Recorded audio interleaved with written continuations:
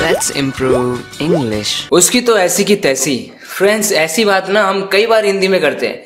उसकी तो ऐसी की तैसी, तेरी तो ऐसी की तैसी, तेरी तो ऐसी की तैसी, उसकी तो ऐसी की तैसी। इस तरीके से गुस्से में बोलते हैं। इस बात को हम इंग्लिश में कैसे कह सकते हैं? इंग्लिश में ऐसी कौन सी बात है, कौन सा फ्रेज है, जो इसके इक्विवेलेंट है, जिसका हम यूज़ कर सकते हैं इस बात को बताने के लिए? तो वो मैं आपको बताने वाला हूँ। और इसी तरह के कुछ कमाल के हिंदी के वाक्य जो होते हैं ना, जो बड़े कंफ्यूज कर सकते हैं लोगों को, उनकी इंग्लिश में आपको इस वीडियो में बताने वाला हूँ। इस वीडियो को एंड तक ज़रूर देखें। इससे आपकी इंग्लिश इंप्रूव होगी। मैं कुछ ऐसे सेंटेंसेस लूँगा हिंदी में कुछ बातें, जो जनरली ना लोग करते हैं, ऐसे हिंदी में बोलते हैं।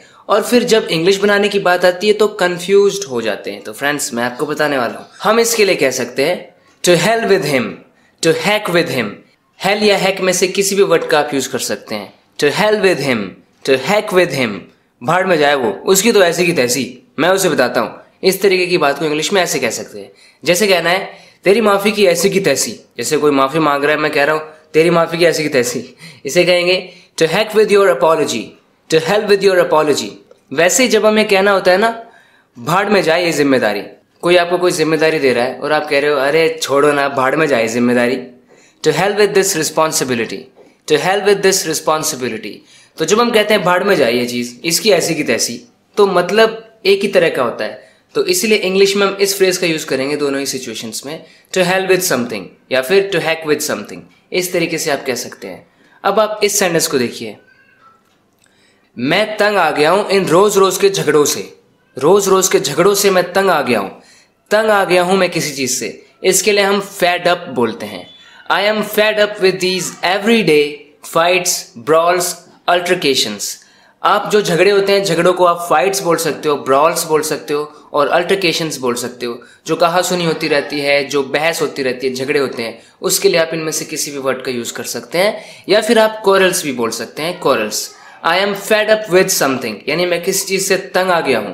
So I am fed up with these everyday fights everyday मतलब ये रोज की फाइट्स ब्रॉल्स अल्ट्रिकेशन क्वारल्स अब आप इस सेंटेंस को देखिए। बारात आने वाली है। तो अक्सर कंफ्यूजन होता है कि बारात को हम कैसे कह सकते हैं। इसके लिए हम कह सकते हैं the wedding procession is about to arrive the wedding procession यानी प्रोसेशन बोल सकते हैं हम बारात को। और हमें इसमें साथ में वेडिंग बोलने की क्या ज़रूरत है?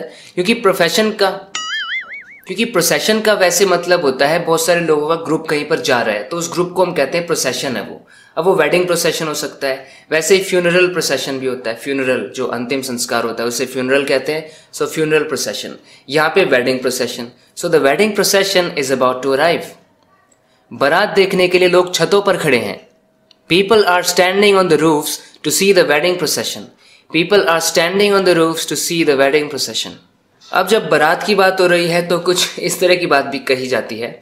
मुहूर्त का समय निकला जा रहा है तो कहने का मतलब होता है शुभ घड़ी निकले जा रही है। इंग्लिश में कह सकते हैं the auspicious time is passing the auspicious time is passing जो ऑस्पिशियस टाइम है, शुभ घड़ी है, शुभ समय है, वो पास हो रहा है, वो जाता जा रहा है। मैं उसको सही सलामत घर ले आऊँगा। कह सकते हैं I will bring him home safe and sound safe and sound आप बोलेंगे जब आप कहना चाहते हैं सही सलामत।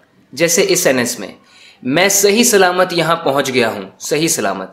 I have got here safe and sound I am safe and sound यानी मैं सही सलामत हूँ।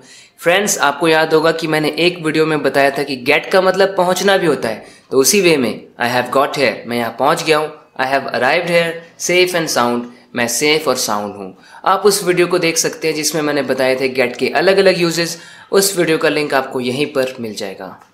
वो अपने प्यार का दिखावा करता है। दिखाता रहता है सबको कि बड़ा प्यार करता है वो। He shows off his love he shows off his love किसी चीज़ का दिखावा करना, यानी प्रिटेंड करना शो ऑफ़ करना, वो अपने नए फ़ोन पे इतरा रहा है। जब हमें इस तरह की बात करनी है कि बड़ा घमंड दिखा रहा है, नया फ़ोन है, उस पर इतरा रहा है। इसके लिए भी हम शो ऑफ़ कह सकते हैं। He is showing off his new phone या फिर दूसरा वर्ड होता है फ्लॉन्ट फ्लॉन्ट करने का मतलब होता है किसी चीज़ पर इतराना, किसी को बड़े घमंड के साथ दिखाना कि देखो, मेरे पास ये है।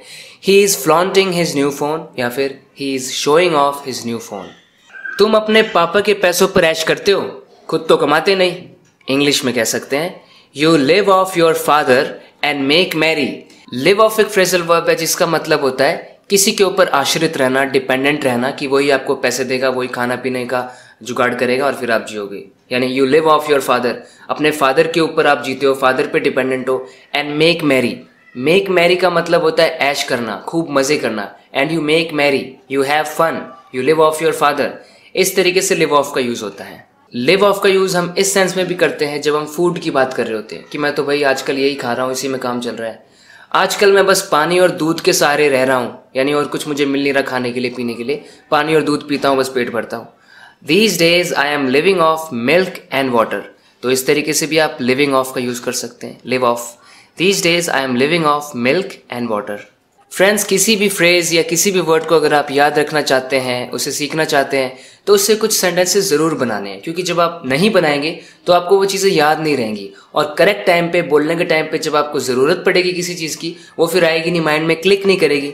तो वो माइंड में क्लिक करें, इसके लिए आपको ये करना बहुत ज़रूरी है कि किसी भी फ्रेज को आप सीखो, किसी भी, जब भी मैं किसी वर्ड को इंट्रोड्यूस करता हूँ तो आपकी ज़िम्मेदारी होती है ये अपने ही प्रति कि आपको कुछ सेंटेंसेस बनाने हैं, जिससे प्रैक्टिस हो सके और यूज़ करने की कोशिश करनी है उसे। जब आप यूज़ नहीं करेंगे तो आप उसे भूल जाएँगे। बड़ी नेचुरल सी बात है।